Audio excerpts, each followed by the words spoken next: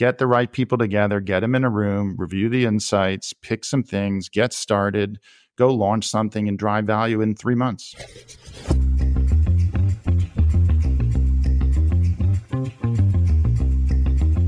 Hi, this is Matt Egol, the host of the CX and Culture Connection, the podcast for leaders looking to accelerate value from their investments in customer experience and culture together. I'm really excited to speak today with Michelle, who's a CX and marketing veteran with experience at both larger companies like Wayfair as well as working with emerging companies like private equity owned portfolio companies uh, to accelerate value. So, really excited to have you on the show today, Michelle.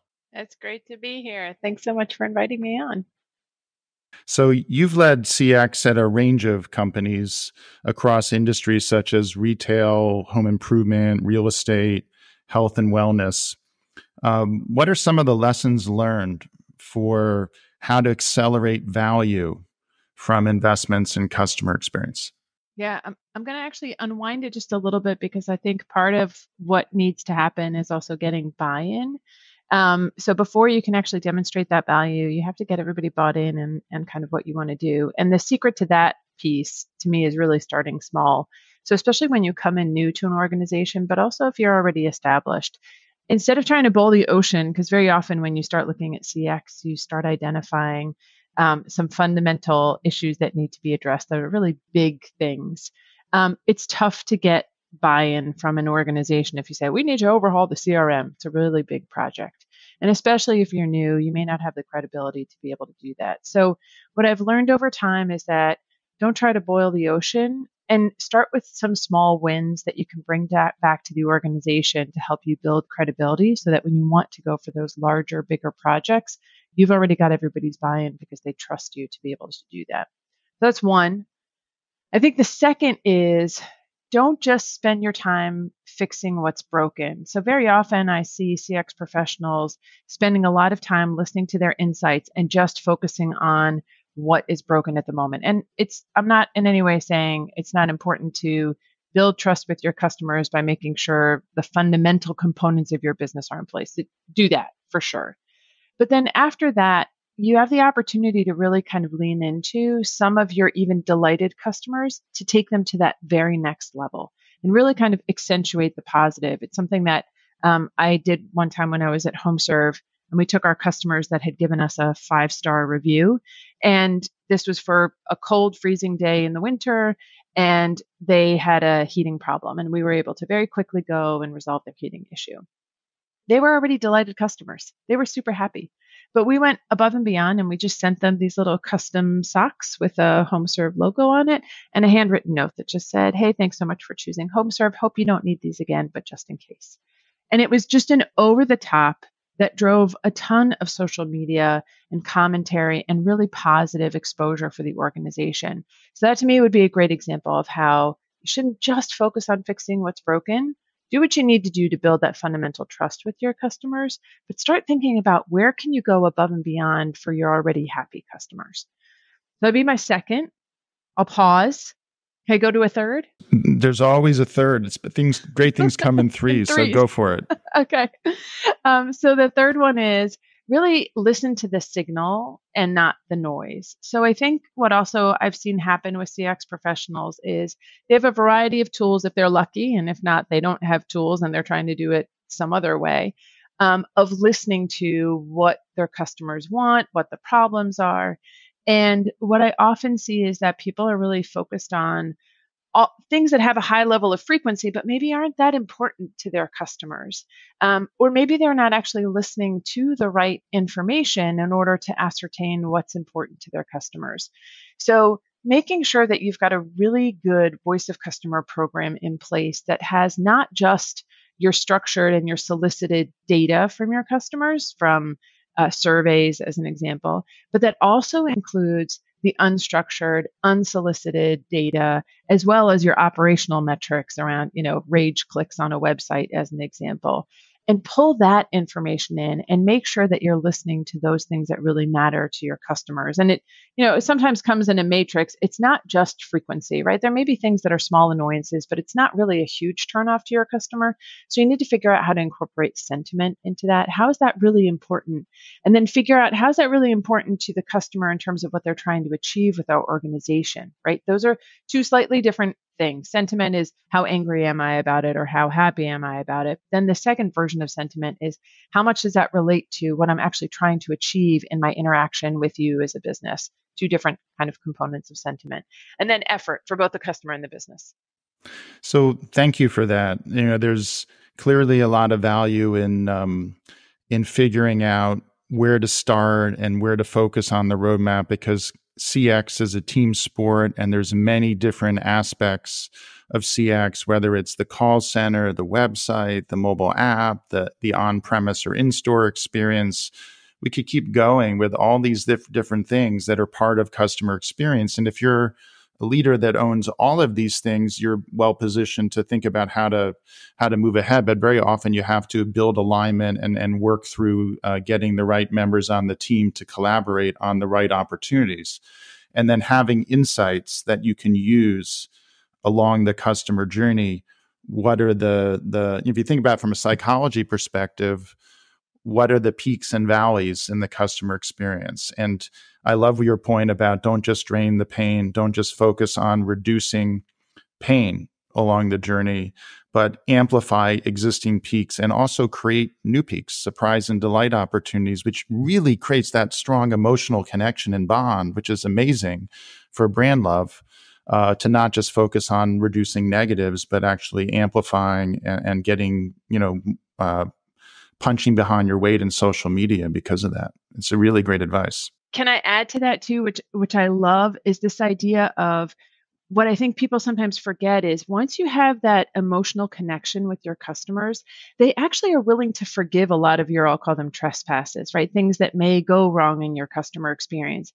So that's why there's so much value in creating i love that you said creating additional peaks in addition to taking the peaks you already have and making them that much better. Because then when something goes wrong and you send out an email that doesn't have the right name in the subject line or whatever it may be it'll it'll be okay. They they won't that won't cause them to leave. Whereas if you don't have that emotional connectivity that comes from those rich experiences and highly connective experiences those things can lead to customer abandonment. And I think there's two paths that are, you know, we could explore here for a minute if I could share.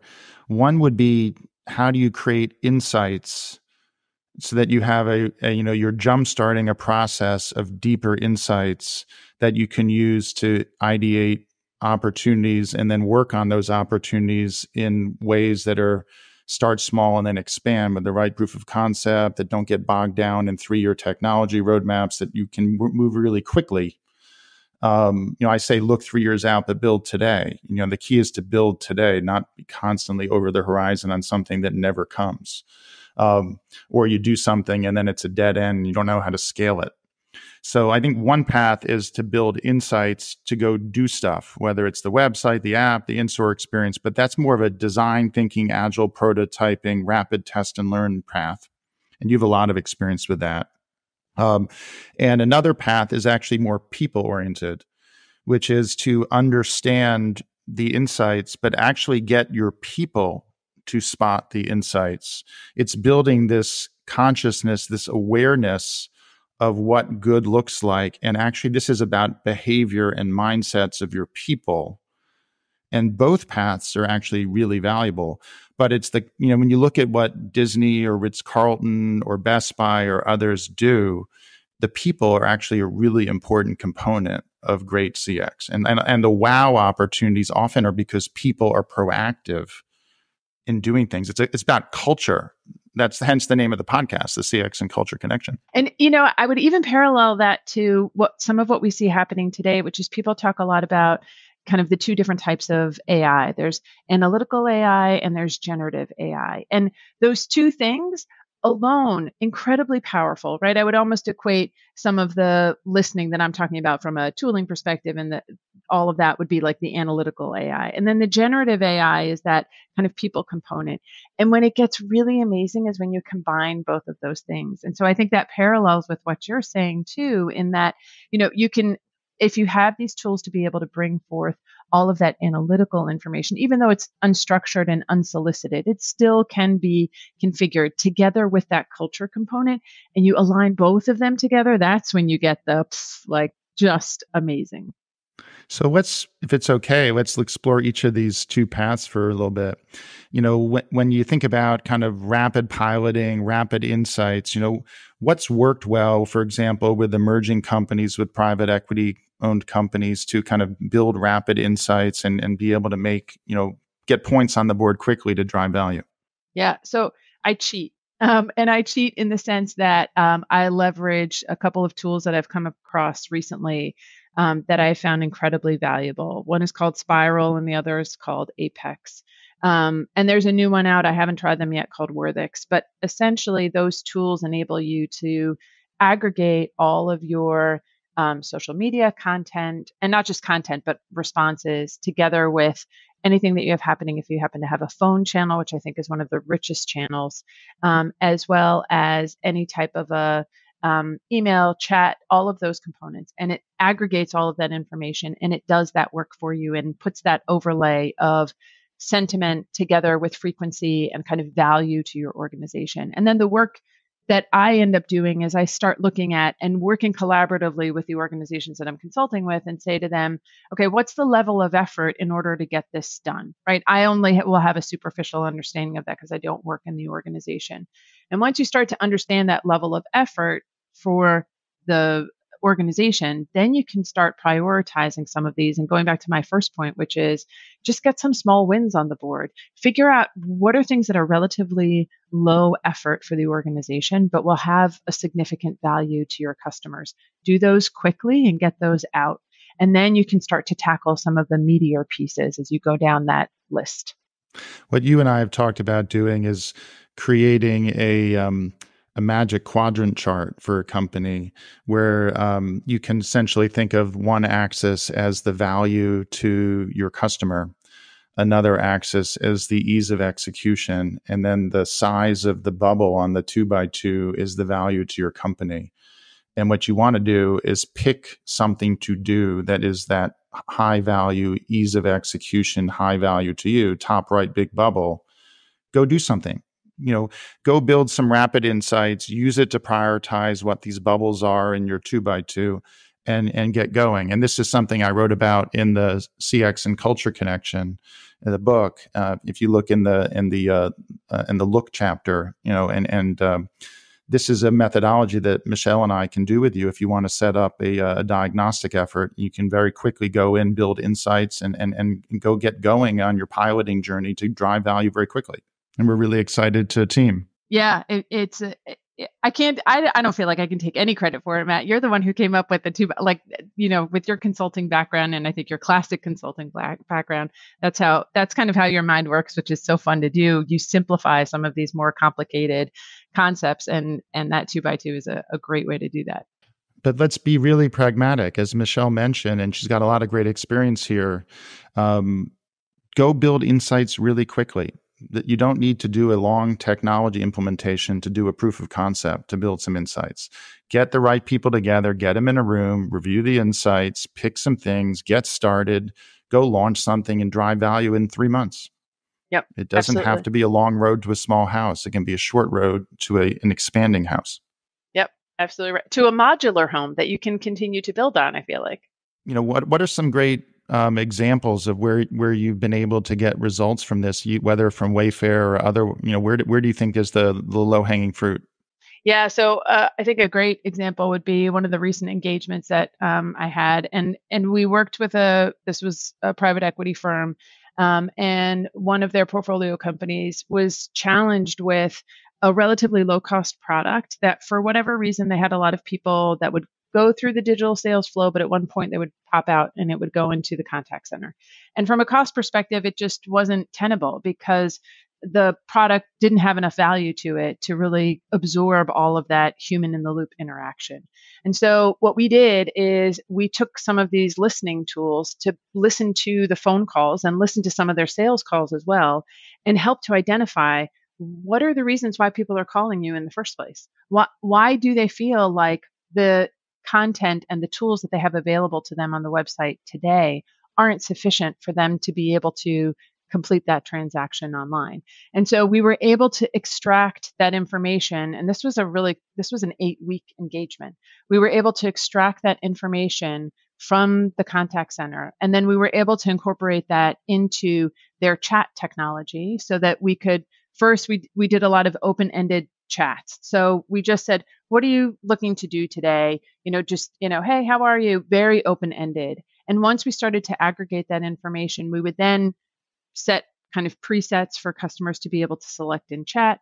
And we would then go down to the next layer. As we got closer and closer to the sale, we would continue to take the open ended, feed it back as presets, and we were able to narrow it down and then push as much volume as we could to stay within the digital flow because we had enabled both the content of the website, which the, the ownership there got a little tricky, um, but the uh, the content of the website, as well as empower through the chat for customers to be able to, or prospects to stay within the flow to be able to become customers. So that was a very kind of narrow example, but the value that we brought to the organization was tremendous because the amount of calls that we have now deflected from going into the contact center um, had a significant cost value to them, right? If you think about how many, what's my cost per minute for an agent to be able to do this, and we extracted all of that from their contact center and we left the customer happier because they didn't really want to contact them. In some cases, they did. It was interesting. This was a, these were truckers, um, and so sometimes they found themselves on the road and they just want to make a phone call. It's easier than trying to do anything on a phone hands free.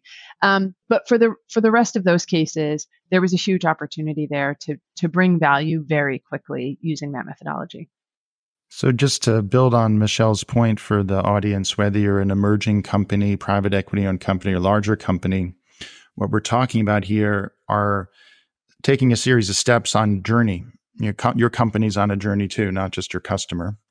Um, and how can you make this a self-funding journey through some of the cost savings that you're going to achieve? Um, so you know you can think of this as the cost of quality is one of the cost drivers that Michelle's talking about. If you reduce, if you have a better experience digitally, then there's less call volume right? So this is called digital containment, right? So if a good digital experience, it actually results in lower costs, whether you're a retailer, you're a, a, brand, a technology company, a healthcare company, financial services across industries, you can save 10 or 20% of the costs of service operations through this type of opportunities. So what Michelle's talking about is a continuous improvement cycle starting with some small steps using insights and getting things going where you're starting to build insights and attack cost of quality, which will also have the benefit of improving the CX. It doesn't just lower your costs. You can also look at things like your research and testing spend. I've seen apparel companies save 30 to 50% of their research and testing spend. Saw a bank save 30% of their user testing on their website and mobile apps.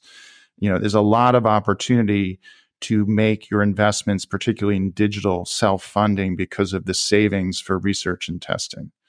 Um, and then finally, you know, you can um, uh, you can also uh, have vendor rationalization. If you have ten or twenty platforms that you're using, you can often get by with half as many by how you pick the right things and and and Michelle has a wealth of experience implementing this so she's a great partner to think through how do you actually make pragmatic trade-offs for what to do and how do you, how do you get on a path that's self-funding and and Matt, that that last one, the technology piece, just from the specific consulting engagement that I had, it was so interesting that they had a different technology platform for sales chat versus for service chat.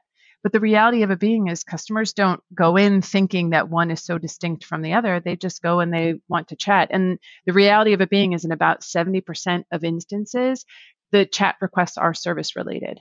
Um, and so it seemed to have this bifurcation resulted in an artificial barrier for both service and for sales. And what that also enabled us to do down the road was to start thinking about how do you commercialize some of those service engagements? You know, when it's right to think about it, but how do you take that moment when you have service and how do you think about, oh, you had a great service experience. By the way, I noticed, Mrs. Smith, you don't have X, Y, and Z, and you're a power user. I really think you might want to upgrade to version 2.0 of our platform so that you can get all of the benefits out of it. Um, and it goes to your point of if you don't actually spend time thinking about all of the tooling that you have, you can actually have tooling that counters one another. And in this instance, they did have that. And so it is really important to take a look at the tech stack and see where you have opportunities to actually aggregate that. And not only is there a huge cost savings element to the organization from a contracts that you're paying for, but the number of people that are then supporting that technology, that also gets reduced on top of the servicing of your customers. So I've worked in many contact centers. And in those contact centers, I so often see agents work of, working off of five different platforms on three different screens trying to aggregate all the information. That time is money to be able to go to all these different systems. Once you start to think about how do I streamline that technology, and, and sometimes you're not going to get the best of every piece of technology, you just need good enough. Um, because in my experience, in most of the use cases that clients have, they're really looking for kind of good to better. They're not necessarily going to be able to leverage some of those higher capabilities of the tools you're getting anyway. And they get much more value out of being able to aggregate that tech stack um, and their employees end up being happier, which goes to your the kind of culture and customer experience and culture tie in with employee experience. The happier your employees are and the easier it is for them to work and service your customers, the better the outcome for your customers as well. So I'm going to switch gears in a minute to dive deeper into the culture and employee connection there that I know we're going to have a lot of fun talking about. But just to close out what our listeners can do to take action on some of these things we've been talking about, connect with Michelle and me on LinkedIn and reach out over, send us a message, and we'd be happy to have a conversation with you privately on a video chat to explore some. If you found value in some of the concepts we just talked about, connect with us on LinkedIn and we'll set up a meeting to talk with you about how this applies for you. So, you once said, I love strategy, but culture wins. What a great quote. I mean, uh, by the way, Peter Drucker is yeah. famous for saying culture eats strategy for breakfast, except he didn't actually say it. He's it's misquoted from him. And I I learned that when I was writing my book that uh, I, I, was going to put that in. And I went to footnote and I was like, wait a minute, he didn't actually say this. I couldn't. I, I, I he, he, said something similar, but not quite the same thing. So um, I love that quote. Your quote, I, I love strategy, but culture wins feels similar. I'd love for you to elaborate uh, on this one, uh, what, what it means for you and why you said it. Yeah, so I, am going to start with the story of how I got there because um, I definitely started out my career very focused on strategy.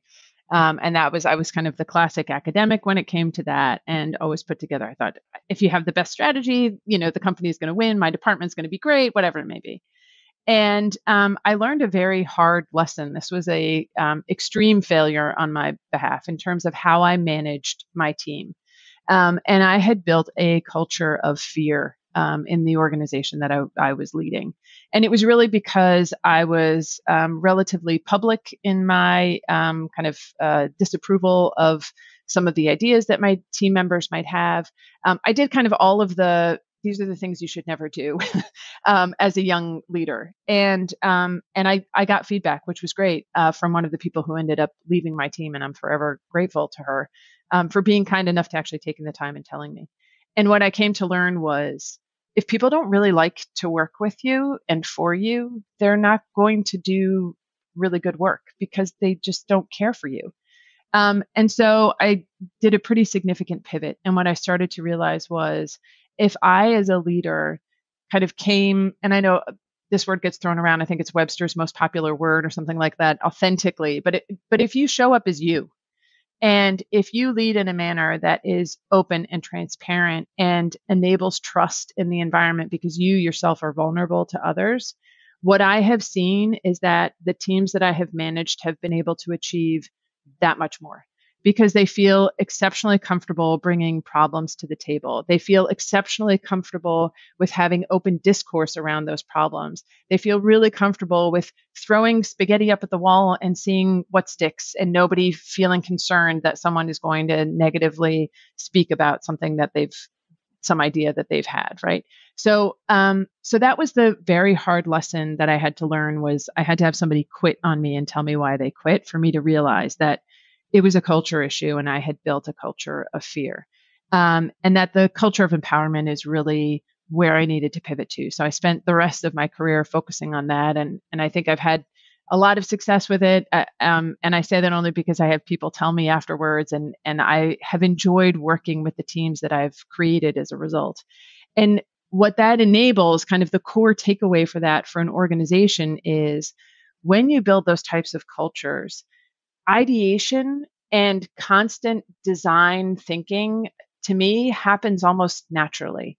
When you create those types of environments where people are are feel free to be able to collaborate and speak openly with certain guardrails uh, in mind, right? But but in general, the output that you get and the result that you get as an organization is constant innovation, which is what you need because people are now bought in, they're passionate, they feel like they can have influence and impact on the business, which is what I think pretty much everybody, when they go to work, if you're going to spend eight hours, 10 hours a day doing what you're doing, you want it to be meaningful. It's taking you away from a whole bunch of other stuff. So let's make sure that you can, in that time, actually make a difference and have an impact. So I know that was a long winded answer to your question, but um, but that's how I got to I love strategy, but culture wins. Thanks for making it personal. I think any anytime there's a personal story there, it's more meaningful, and and that's how we all change and learn and gr- learn and grow is sharing stories. You know, I'd love to kind of dive a little bit deeper into what are some of the specific things to pay attention to if you want to build a, a culture that has the right behaviors, the right mindsets, the right networks and collaboration, right? You know, to make the culture to change how things are done around here. And it starts with individuals, but ultimately you have to build a movement where people's behavior is changing. So, what are some of the things to pay attention to as a leader to kind of spark that movement to get that culture changing?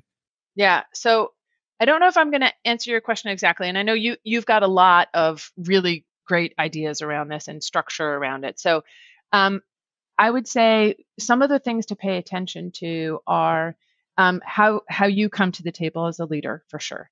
Um, and going back to the points I made before around authenticity and around vulnerability. So leadership development and being paying attention to yourself and and practicing things like mentalizing and thinking about others and how are you engaging with others. Yes, and I think opening yourself up to the the kind of personal aspects of yourself in a business environment. I know for a long time I was taught your personal life is your personal life and you don't bring that to work and work is work. And uh, the reality of it being is we're humans and you can't put that wall between the two. And I don't think it's natural to put the wall between the two. And I have found that um, actually work environments where you are given more space and more freedom around bringing the personal elements of yourself forward are the ones that are the most engaged environments. So that to me is again as a leader, I to me it just feels like what i have seen success with is if you demonstrate it if you you don't just talk the talk but you you really walk the walk and you come into your meetings and i've often very simple i have started meetings with some type of personal tidbit about something i did on the weekend or something that happened to me or a lesson i learned um, or gosh i just came back from a meeting and i really did not do well in that meeting here are the lessons learned that I want to share with you guys so you don't step in that pile of poo, right? So moments like that, I think, are very helpful in creating, in starting to establish a culture on your team for sure. Um, and I would say then kind of the pieces that you have to watch for and and look to see is this effective, is this not effective, is whether or not you start seeing people open up and engage in discourse. That to me was one of the main things that happened when I was at Wayfair. I had um, kind of absorbed a team of uh, data analysts that had had a very different leader prior to myself. And um, once they came onto the team, I, what I first noticed was there wasn't a lot of discourse. There wasn't a lot of challenge of some of the things I was putting out there. And I would continuously say, look, I'm not a data analyst. It, in my next life, I'd like to be one, but I'm not today. So tell me where I'm not thinking about this the right way. How would you do this differently? And in the beginning super hesitant and when one person finally spoke up and i thanked them so openly in a meeting and i said that's a great idea. You're absolutely right. I was thinking about it the wrong way. It the other team members began to recognize that this was the type of environment where you could have freedom. So watching for do you feel like people have freedom in their conversations when you hold meetings or even when you have a one-on-one dialogue with them is one of the to me huge indicators of success when it comes to culture or failure? What you're highlighting is you can showcase and model behaviors that you want. So you can become more self-aware of the behaviors yourself. You can invite others to engage in those behaviors too. And you're creating an environment where the behaviors can take root. Now, what's really powerful about this is not only, you know, do you get people bought into the idea of being part of the change together and drawing energy from each other and like energy flows, people that's basically culture is about positive flow of energy versus negative flow of energy. Um, but you can be intentional about the behaviors you want in your culture. And this is a step many leaders miss, which is what behaviors do I want in my culture? Reflect about it yourself, certainly, and about how you can, you know, create those. But if you want to create an ideate, test, scale approach with a culture of experimentation, well, then how do you drive ideation? How do you create psychological safety? How do you get people contributing? Those are all behaviors around fostering more ideation. If you want more ideation, don't do things that inhibit it you know? Um, but you can actually step back and engage some of your people i call them your culture champions about who are what are the behaviors you want and get them to be part of shaping the selection of these behaviors and then how are you going to activate the behaviors? And the missing step often is to make commitments. I would encourage um, if you haven't already for the audience go to um, www.cxandcultureconnection.com and look for the podcast episode with Chris Taylor. He's the CEO of Actionable. It's a platform that I use for change management and cultural behavior activation and understand like how do you get people to make commitments? And then Chris has this great method that I love called the triple double. If you look at the behaviors and the commitments people are making, you can actually get a bell curve of like you know who's applying the behaviors. And this is one of the things we do is actually get people to make commitments and then track behaviors. And you can look at the bell curve. Now the people on the right side of the bell curve are the ones who are doing it great. And actually those are the ones you want to amplify. It's like in social media you want to amplify them. You want to get them to share their stories. That's called doubling down. It's a triple double. So you want to double down on those people and showcase those stories then in the um, middle is a double click.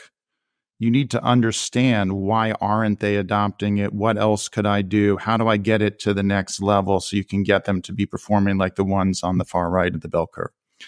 The far left of the bell curve are the ones that are not getting it, they're not adopting it. These are doubling back. You got to engage people in the program and actually ask, is it worth it to engage with these people? Or are we going to move on? Or should we double back and figure out how to so this is a change management mindset but explicitly focusing on behaviors because that's the most critical thing in culture is is is behavior adoption because you act your way into new mindsets via commitments. Yeah and I, I really like that very deliberate approach. I don't know that i've ever been that deliberate in terms of what what do i want the culture necessarily to be and going back to your point you know if you want a culture of um, innovation well okay what are what are the behaviors that we know will drive innovation? And work that back into okay what are the behaviors that i need to exhibit hold everybody accountable for and collaborate with them in order to determine how do i how do we achieve those behaviors in the end? So i really like that idea of more structured thought around the culture piece. And you don't have to start from scratch because usually there's something already present in an organization culturally that's the foundation because of what I what I call a cornerstone discipline to build on. A corner in, in construction, the cornerstone is the first stone you lay, and then everything's built on top of that. So you might already have a commitment and buy-in, say, to human-centered design. And so, and you might say, okay, well, we want it. There, people are this design thinking is popular. People have been exposed to it. How do we build on that? Well, there's a set of behaviors around design thinking that you can spread in the organization. You could also, you might say, you know what, we want, we're committed to agility and we're trying to drive agility. Well, there's certainly a lot of rituals and behaviors associated with agility. Same thing for quality management. Actually, for data science, also. So these are four examples of disciplines that I write about in, in the book that you can actually use that as a launching off point for what behaviors you want. You don't have to have a blank sheet of paper. You could actually say, if I want to f- combine human centered design and agility, let's go look at the behaviors that are well aligned to those disciplines and ski downhill and actually drive those in my organization and look look for what's present today. How do I amplify it? That's the doubling down.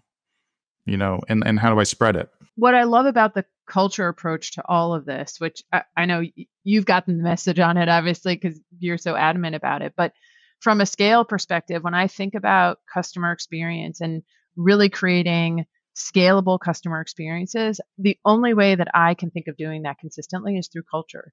Um, if you within the organization, because otherwise, let me just take a step back before I get to that. Otherwise, as a CX group, typically you you sit in not quite a silo, right? Because you want to be co- cooperating and collaborating with a lot of other groups in the organization, but you are not the one who can actually implement the change. And you may have somebody in finance who decides they're going to make a decision about a new price point that they're going to apply, and they're not going to think about how does that influence the customer experience, and that is a component of customer experience. But when you've put in a culture if it's design oriented thinking, if it whatever that culture may be, well then the people in other departments will start thinking in a manner that is similar that will all have the similar outcome that everybody has decided that they want to have being the outcome right? And so that to me is the best way to be able to scale true great customer experience is really through culture. So if this is an area that you see value in you know in, in our, among our listeners and talking to our listeners some simple things you could do um, are, you know, uh, if you have a leadership team meeting or an offsite, Michelle and I would love to come be a speaker or to come facilitate a breakout at your offsite and and dive deeper into some of these topics. And we'd certainly be happy to talk about that. Yeah, clearly we're both really passionate about it.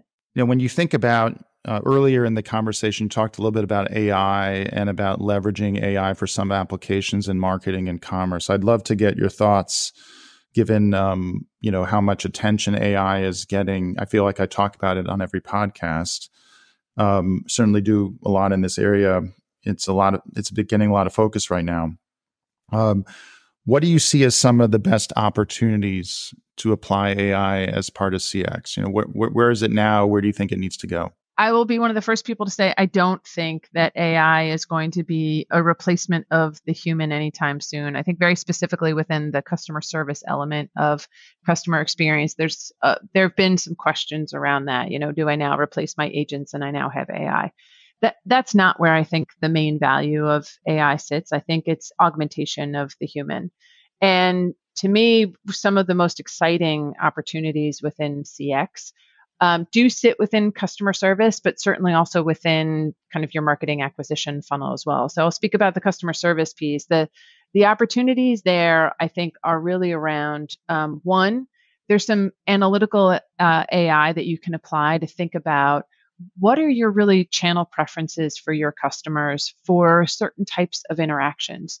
You can start getting some data and start understanding look, the best resolution for a really complicated issue is not going to be a chat session. It's probably going to be a phone call. So start informing your organization around these complicated issues are going to go here, these less complicated issues are potentially going to be resolved in another channel. And then also change that presentation to the customer as well so that they have the best likelihood of a good outcome based upon the channel, right? So that that would be one interesting place for application of analytical AI.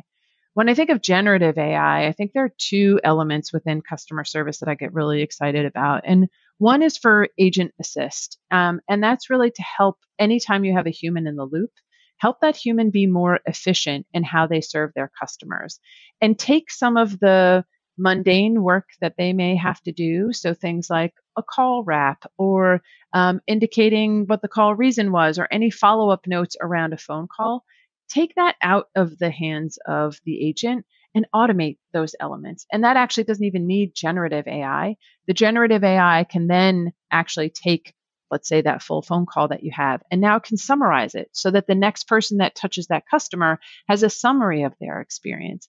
Those are the places where I think I get really excited because what that ultimately means that can happen is as a business, you can have employees in your contact center that are really focused on the more challenging, empathetic work that they should be doing versus focused on really the more mundane work that very often they end up doing. Um, and once you build some of these elements to help your uh, human, your humans in the loop in that service experience, two things happen. One is those people are happier and you have more retention. So when you think about that value equation that we started talking about at the top of the session, right there, you're going to gain value. You're going to reduce your attrition rates within the contact center. That's incredibly expensive when you have people turnover. And you'll have less of that because they're doing Some less. companies have 100% turnover in their contact center in a year. Oh, I've I've worked with That's ones really that have bad. 100, Yeah. have 120%. Um, Yeah. And it, it's they're not outliers. That's that's what's Mhm. fascinating to me. So when you think about being able to stem that because you've taken out the mundane, huge opportunity there. And then the other thing that it enables, and this is where I think we have to be really deliberate as leaders in thinking about implementation of AI, is well, you may actually now be opening up 30% bandwidth for each person. And instead of thinking of that as necessarily, okay, well, now I don't need to hire as many people, which will absolutely be true. There'll be value from the ability to scale now, now that you've implemented some of this generative AI and even analytical AI. But the other component of that is you can now allow these people to do other work. And it could go back to that point we were making at the top of the hour, which is these are very often your boots on the ground and they know what customers really, really want. Now you can open up time to them. I think of, I think Google did this at one point in time. They let every employee have like 30% of their day or their time allocated towards, you know, fun projects, something that could maybe benefit the business. You could think of something similar and give this time back to these people to say, look, you know what customers want. Help us deliver it and enable them to actually do that. So um, I think implementation in the customer service space gets me really excited. And then on the marketing side of the house, I think there's just so much opportunity in being able to now do hyper personalization and communications with your customers, um, figuring out, you know, based upon past activity and and now you can you know you've got these giant data sets you can actually do something with them everybody i think of wayfair right wayfair we used to laugh about it internally if i bought uh, and and i did this i bought a patio set. So i bought a table and chairs. And um, the next email that i got from them was hey buy this patio set table and chairs. And i was like do you not know that I just bought this? And oh, by the way, the one that you presented to me looks exactly the same, but it's $20 cheaper than the one that I bought. So now it's like insult upon injury. Not only do you not know who I am, but on top of that, you're actually giving me something at a lower price. And so now we have that opportunity to leverage AI to be able to say, oh, okay, now you've done that. Well, let's get you some seat cushions. So that should be my next marketing offer to you. Or, oh, based upon all of the data that I have, predictably, people that purchase these types of outdoor patio sets the next thing that they purchase is something in the kitchen and offer that right? So so being really smart about how we can continuously commercialize our experiences in ways that are really relevant to our customers. For the audience, if you want to check out a prior podcast that talks about using AI to personalize content experiences for marketing, like Michelle's talking about, go to cxandcultureconnection.com and look at the episode for Ronnie Vexelman from Optimove. So he's talking all about this, how you can drive microsegmentation with AI and basically it learns based on journey orchestration what people have done before, what the next best piece of content is to serve up in an email or a message or content on a website. Uh, it's really cool stuff. And Michelle's talking about practical things for how you embed this in the organization. Um, but check out that podcast too if you want to learn more about that, or or reach out to us and set up a discussion. We'd be happy to talk about it some more. Um, Michelle, as we wrap up, it's been fantastic conversation. I want to give you an opportunity to share, uh, you know, the best way for people to follow up with you, whether it's the website of your company or other ways. when, What's the best way for people to reach out to you? Yeah, so Seicho Syndicate, um, spelled S E I C H O, Syndicate. Um, that's the Japanese word for growth, um, and uh, and you can find me there. Um, and my email is Michelle at seichosyndicate.com. Um, and uh, I would be happy to answer any questions and engage in any way. I'm always uh, very excited to talk about anything related to CX, which these days now feels like everything because almost everything's related to CX. Absolutely. Um, Michelle, it's been a lot of fun. Uh, you've definitely sparked some great ideas for me. I, I, I, know you have for the audience as well. Um, and uh, thanks for coming on today. Such a joy. Thanks so much for having me, Matt.